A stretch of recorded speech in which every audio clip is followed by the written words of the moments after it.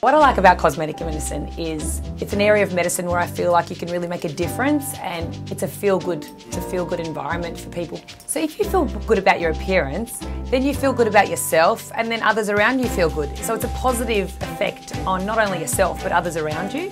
As a busy mum of four kids, I know what it's like, you know, the busy, hectic lifestyle. We can often forget about ourselves and I think it's important to take the time out to actually do something for yourself every so often. It keeps you going, it keeps you feeling good.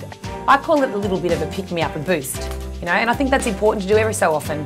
What I would say one of my areas of expertise is finding those small areas of imperfection on people's faces that may not be that obvious, but just, you know, tweaking those little areas that make a big difference, like small things that make a difference. When I see someone's face, I look at what distracts me, like and what my eye is attracted to.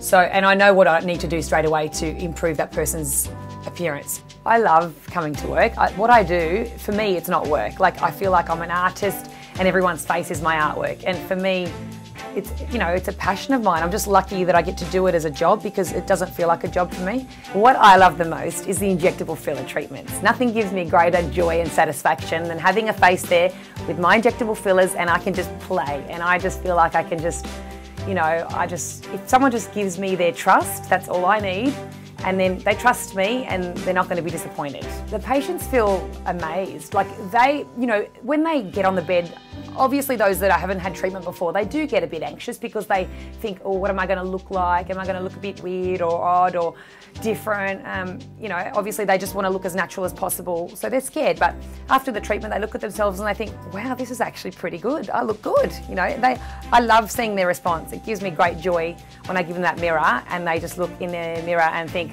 wow, I, can, I actually look really good.